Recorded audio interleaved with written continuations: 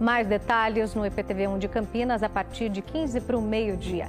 Obrigada, viu, pela sua companhia. Ótimo início de semana. Se cuida. Até amanhã. Companhia de sempre, ótima sexta-feira, bom fim de semana. Na segunda-feira estaremos juntos de novo. Até lá.